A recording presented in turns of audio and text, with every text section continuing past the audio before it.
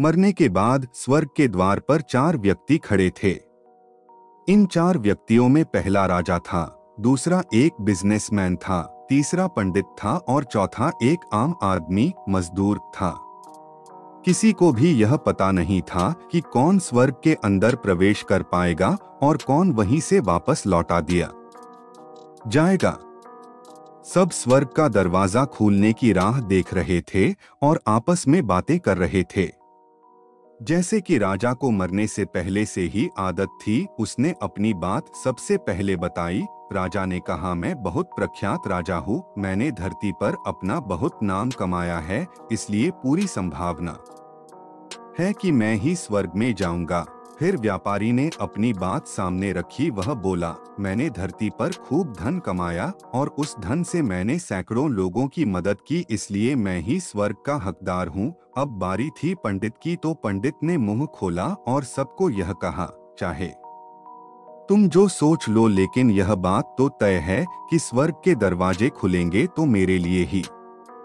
सब जानते हैं कि पंडित दिन रात भगवान को याद करते हैं, इसलिए स्वाभाविक है कि स्वर्ग में पंडित का स्वागत किया जाए। जब सबने अपना अपना पक्ष रख दिया, तब सबकी नज़र उस मजदूर पर थी जो चुपचाप अपनी नज़रें नीचे झुकाए बिना कुछ बोले वहीं पर खड़ा रहा। स्वर्ग का दरवाज़ा खुला और वहाँ पर एक देवदूत आकर खड़ा हो गया। देवदूत के हाथों में एक पुस्तक थी जिसमें इन सभी के कर्मों के बारे में लिखा हुआ था। देवदूत ने सबसे पहले राजा को अपने पास बुलाया और उसको पूछा, तुम बताओ तुमने अपने जीवन में क्या क्या अच्छे कर्म किए हैं? मैं उन्हें इस पुस्तक में देखकर फैसला करूँगा कि तुम्हें अंदर आने देना है या नहीं, राजा ने कहा। मेरा राज्य जितना बड़ा था, उतना ही समृद्ध था, और मेरी राज्य के सभी लोग खुशहाल थे। सभी बड़े आनंद से रहते थे। मैंने उन्हें कभी भी किसी भी चीज़ की कमी नहीं होने दी। यही मेरे अच्छे कर्म है, देवदूत ने अपने पुस्तक में देखा और देखने के बाद राजा से कहा। तुम सच बोलते हो, तुमने अपने राज्य की प्रजा को बहुत सुखी रखा था, लेकिन तुमने अपने राज्य की सीमा बढ़ाने के लिए जितने युद्ध किए थे, उन युद्ध की वजह से हज़ारों सैनिकों ने अपनी जान गवा दी थी। उन हज़ारों सैनिकों के परिवार के दुख का कारण तुम बने थे, इसलिए तुम स्वर्ग में नहीं आ सकते, अब बारी थी व्यापारी की।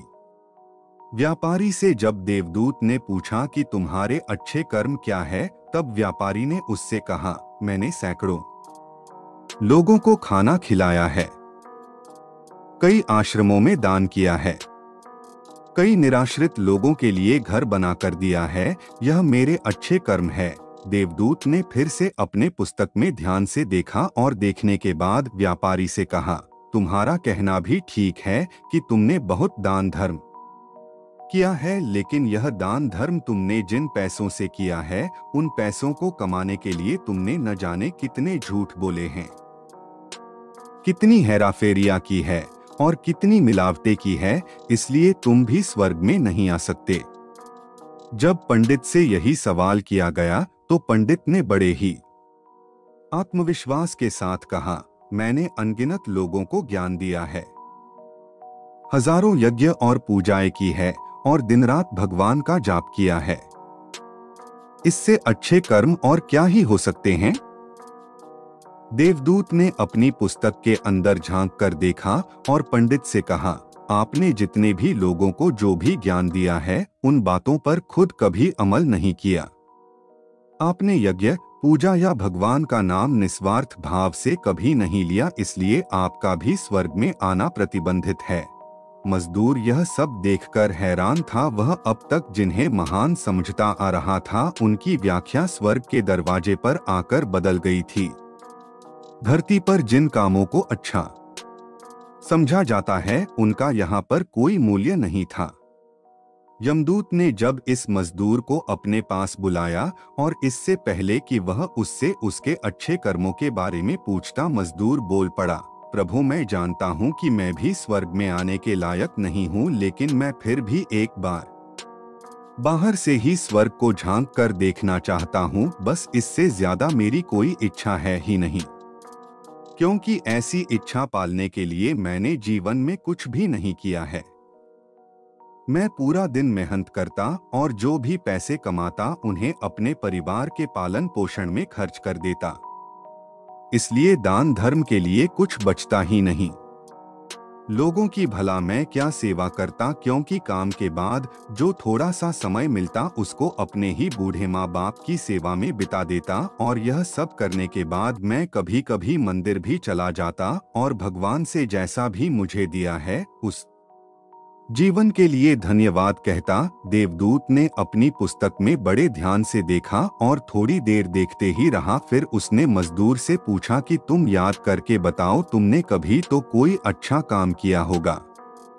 मजदूर ने थोड़ी देर सोचने के बाद बोला हाँ मुझे थोड़ा थोड़ा याद है। एक बार मैं बहुत भूखा था और मैं खाना ही खाने बैठा था कि एक बहुत ही कमज़ोर कुत्ता जो ठीक से चल भी नहीं पा रहा था, वह मेरे पास आ गया और मेरे खाने को देखने लगा, तब मैंने अपनी रोटी उसे खिला दी थी और उस दिन मैं खुद भूखा सोया था। मजदूर की बात सुनने के बाद देवदूत मुस्कुराया और मजदूर को बड़े सम्मान से स्वर्ग के अंदर लेकर गया। दोस्तों, अच्छे कर्म, लोभ, मोह, माया, इन सब भाव में आकर नहीं किए जाते और न ही उन्हें अच्छे कर्मों की श्रेणी में गिना जाता है। निस्वार्थ भाव से किया गया एक ही अच्छा कर्म भी आपके जीवन के सारे पाप धोने की शक्ति रखता है। इसलिए जब भी मौका मिले निस्वार्थ भाव से और अच्छे मन से अच्छे कर्म किया करें।